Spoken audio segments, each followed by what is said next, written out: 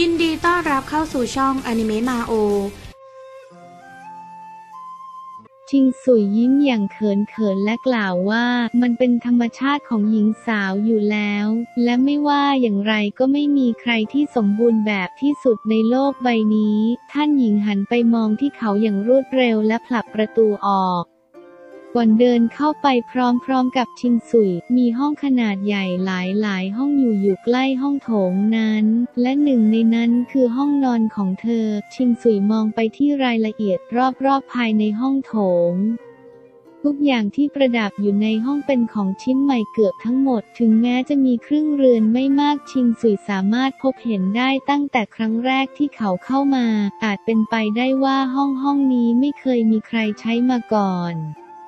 เพราะทุกๆอย่างนั้นถูกจัดวางไว้อย่างเป็นระเบียบและดูเหมือนใหม่อยู่ตลอดเวลา ในตอนนี้ยังไม่ถึงเวลาข้ามหากกล่าวให้ถูกในตอนนี้มันเพิ่งเป็นเวลาในช่วงบ่ายเท่านั้น ชิงซุย เจ้าคิดยังไงกับห้องนี้ ท่านหญิงยิ้มและถาม อย่างไรหรือมันยอดเยี่ยมเป็นอย่างมาก ชิงสุยยิ้มอย่างมากความสุขก่อนที่จะมองไปรอบๆอีกครั้ง ก่อนที่จะมุ่งหน้าไปที่ห้องนอนใกล้ๆห้องนอนไม่ได้มีขนาดใหญ่มากนัก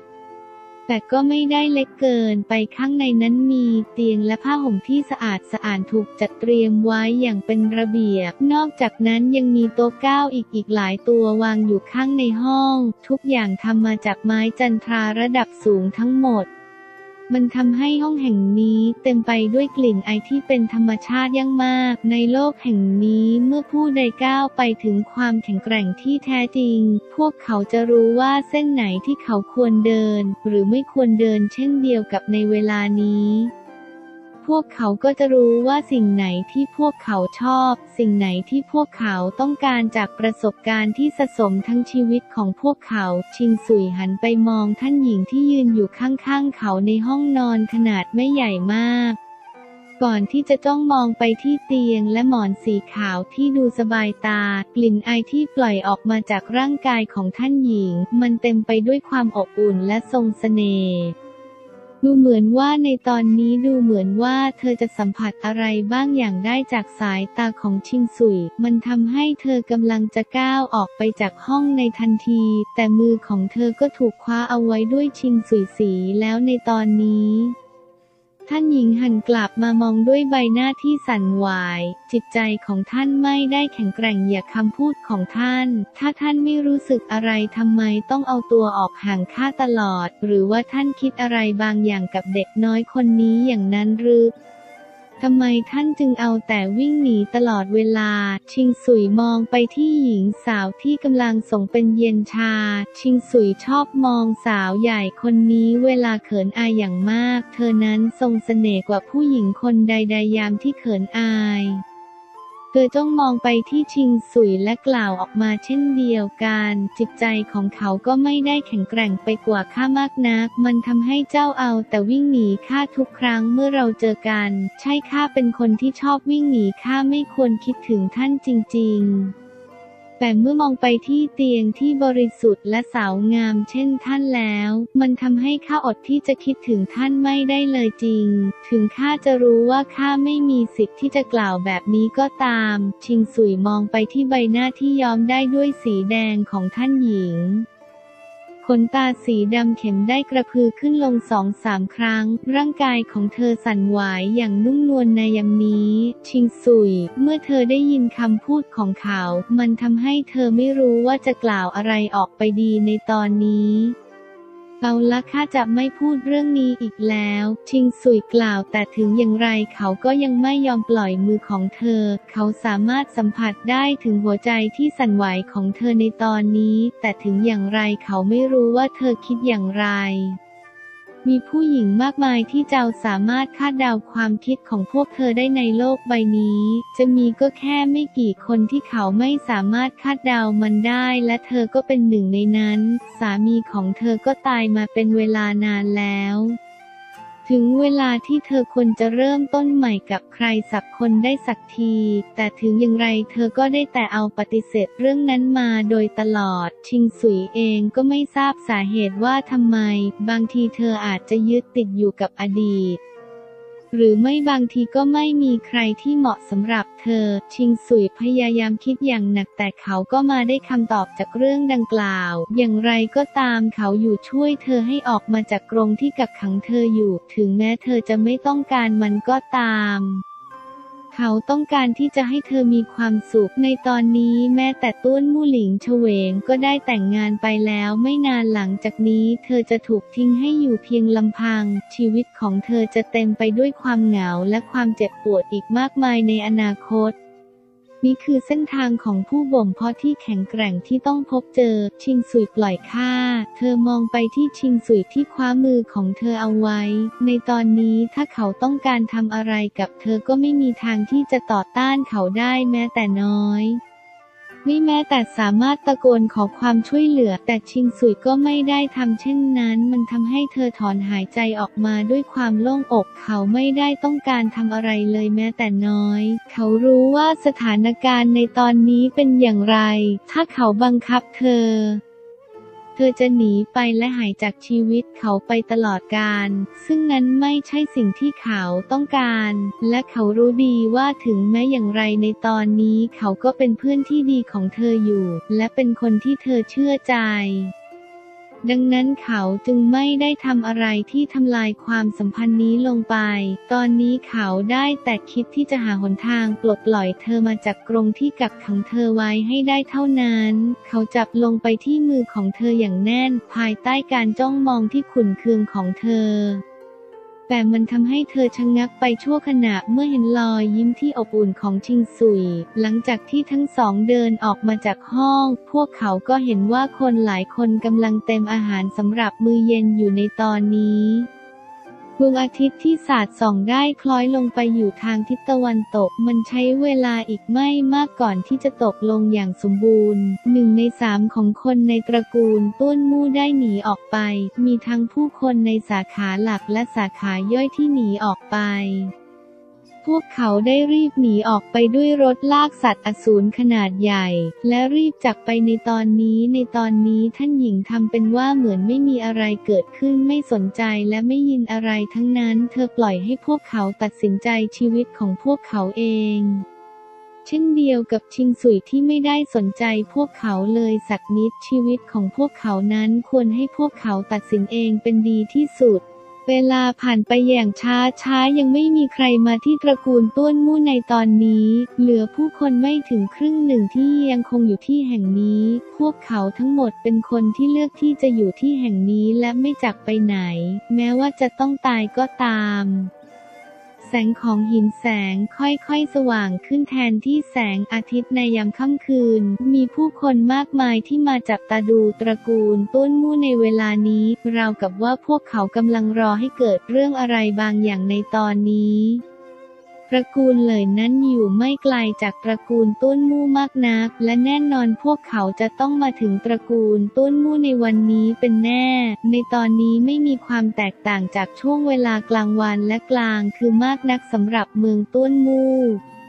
เมืองแห่งนี้เป็นเมืองที่มีชื่อเสียงอย่างมากในสถานที่ท่องเที่ยวในยามค่ำคืน ทันใดนั้นชิงสุยมองไปที่กลุ่มมองไปที่กลุ่มคนที่อยู่ในระยะไกลๆที่ใกล้เข้ามา พวกเขามาแล้ว ชิงสุยมองไปในระยะไกลๆ เธอไม่ได้กล่าวอะไรออกมาได้แต่มองไปในระยะไกล ในครั้งนี้เธอได้ใช้ชีวิตของทุกคนตระกูลของเธอพนันกับความแข็งแกร่งของชิงสุย ถ้าพวกเขาสามารถผ่านช่วงเวลานี้ไปได้ตระกูลของเธอจะกลับมาผงาดอีกครั้ง แต่นั้นไม่ใช่สิที่เธอคาดหวัง แต่เป็นเพราะเธอเชื่อผู้ชายที่ชื่อชิงสุยคนนี้ เธอจึงได้ยอมเสี่ยงครั้งยิ่งใหญ่ ในไม่ช้าผู้คนทั้งหมดของตระกูลต้นมู่ได้ออกมาพวกเขามองไปที่ท่านหญิงของพวกเขาและชิงสุยที่อยู่ห่างออกไป ถึงจะมีการพูดคุยกันอย่างลับๆ แต่ก็ไม่สามารถปกปิดความกังวลในสายตาของพวกเขาได้ ในขณะนั้นต้นมู่ หลิงเฉวงได้อุ้มลูกของเธอออกมาและวิ่งมารวมกับคนอื่นๆ ในเวลานั้นเองชิงสุยเรียกพังพรหมื่นพิษออกมา ก่อนที่เขาจะพยักหน้าให้กับเธอ พังพรหมื่นพิษได้วิ่งไปใกล้หลิงเฉวง ในเวลานั้นเมื่อท่านหญิงเห็นการกระทำของชิงสุยเธอได้ยิ้มออกมา ก่อนที่มองดูไปที่ชิงสุยอย่างผ่อนคลาย จากชิงสุยได้เรียกวิหกเพลิงออกมาในทันที ท่านหญิงเราไปดูกัน ท่านหญิงกระโดดขึ้นไปบนหลังวิหกเพลิง ขณะที่ชิงสุยสั่งให้มันบินขึ้นด้วยความเร็วเหนือแสง ถึงอย่างไรความเร็วดังกล่าวนั้นไม่ถือว่าเร็วมากในสายตาของชิงสุย เขาสามารถบังคับมันได้อย่างสบายสบาย แต่คนอื่นๆ กลับตรงกันข้ามพวกเขาไม่สามารถมองตามการเคลื่อนไหวดังกล่าวได้ทันในตอนนี้ ดูนั้นท่านหญิงต้วนและเจ้าหนุ่มนั้นออกมาแล้ว ชายคนหนึ่งกล่าวขณะที่ชิงสุยและท่านหญิงมุ่งหน้าไปที่กลุ่มคนลึกลับ ชายบ้านที่อยู่ในละแวกนั้นได้กล่าวออกมา เจ้าคิดว่าตระกูลเลยจะมาขอโทษพวกเขาหรือไม่ มีคนถามออกมา เจ้าก็รู้จักพวกเขาดียังมาถามอีกแล้ว เจ้าดูนั้นสิพวกเขายกคนมาขนาดนั้น เจ้าคิดว่าพวกเขาจะมาขอโทษหรือ จิงสุยและท่านหญิงหยุดลงเมื่อห่างออกไปก่อนถึงคนเหล่านั้นประมาณ 500 เมตร จากนั้นพวกเขาหยุดลงและจ้องมองไปที่กลุ่มคนของตระกูลเลย นกอินทรีหิมะนกอินทรีหิมะกว่า 20 ตัวได้ตรงเข้ามา และบนตัวของพวกมันมีคนยืนอยู่ 2-3 ชิงสุยสามารถสังเกตเห็นได้อย่างชัดเจน มีชายชราและชายวัยกลางคนจำนวนมากที่ขี่พวกมันมา และนอกเหนือจากนั้นยังคงมีชายหนุ่มที่อายุไม่เกิน 30 ปีจำนวนหนึ่งติดตามมากในระยะไม่ไกล ทับหลักกว่าครึ่งหนึ่งของตระกูลเลย ถึงกับต้องออกมาเองเลยหรือ เมื่อมองไปที่ฝ่ายตรงข้ามชิงสุยสามารถเข้าใจได้ในทันทีถึงเหตุการณ์ที่จะตามมา ในขณะที่อีกฝ่ายเข้ามาใกล้ในระยะ 200 เมตร ในระยะนี้พวกเขาสามารถสัมผัสได้ถึงความแข็งแกร่งของอีกฝ่ายได้อย่างชัดเจน คนส่วนมากมักจะหยุดลงที่ระยะเท่านี้เพื่อสังเกตอีกฝ่าย เพื่อหาจุดอ่อนของฝ่ายตรงข้ามมีชายสีคนที่ยืนอยู่บนนกอินทรีหิมะที่มีขนาดใหญ่พิเศษที่เขาอยู่ใกล้กันอย่างมากหนึ่งในนั้นสวมใส่ชุดสีม่วงเข็ม ขณะที่คนอื่นๆ สวมชุดสีทอง เจ้าหนุ่มนั่นแหละชายชราที่ยื่นอยู่ข้างหลังกล่าวออกมา ชิงสุยได้ยินอย่างชัดเจนเขาเป็นพ่อของชายหนุ่มที่ถูกชิงสุยทำร้าย ในตอนนี้เขาโกทออย่างมากและอยากจะฉีกชิงสุยเป็นชิ้นๆ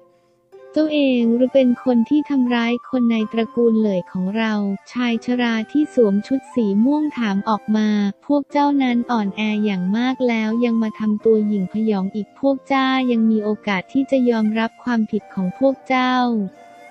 ขอโทษออกมาซะ เสียงของชิงสุยนั้นชัดเจนอย่างมาก แม้แต่คนที่อยู่ไกลไหลลี่ยังได้ยินมันได้อย่างชัดเจน ในวันนี้ชิงสุยรู้ดีว่าปัญหาจะไม่จบลง ถ้าหากเขายังไม่สังหารคนเหล่านี้ไป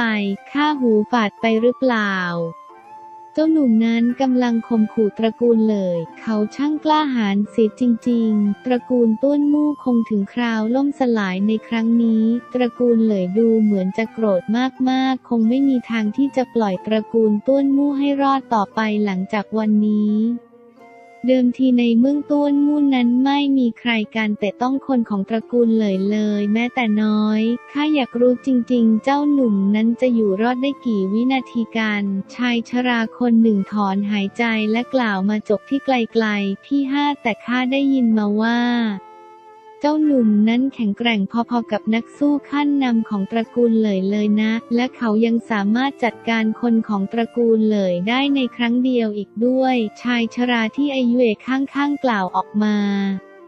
ถึงอย่างไรเขาก็มิอาจเทียบผู้นำของตระกูลเลยได้หรอก ชายชรากล่าวออกมาอย่างมั่นใจ สามหาวใกล้จะตายอยู่แล้วยังปากดีอีกข้าไม่สนว่าเจ้ามีความสัมพันธ์อย่างไรกับตระกูลต้นมู แต่พวกเจ้าทั้งหมดต้องตายในวันนี้ ชายชรามองไปที่ชิงสุย พวกเขาไม่สนใจว่าชิงสุยจะเป็นใครก็ตาม แต่วันนี้เขาต้องกำจัดตระกูลต้นมู่และชิงสุยไปทั้งหมดในช่วงสองปีที่ผ่านมาพวกเขารู้ดีถึงความแข็งแกร่งของตระกูลต้นมูดังนั้นพวกเขาจึงไม่จำเป็นต้องกังวลแม้แต่น้อย ในเมื่อเจ้าตัดสินใจเช่นนี้ก็อย่าหาว่าข้าไม่ให้โอกาสพวกเจ้า แล้วอย่างมาเสียใจในภายหลังก็แล้วกัน ชิงสุยมองกลับไปอย่างเย็นชา เมื่อได้ยินคำพูดของชิสุยเขาลังเล็กน้อยก่อนที่จะตัดสินใจ โบกมือสั่งคนของเขาฆ่าให้หมดอย่าปล่อยให้มีใครสักคนจากตระกูลต้วนมู่รอดออกไป อย่าลืมติดตามรับชมในตอนหน้านะคะ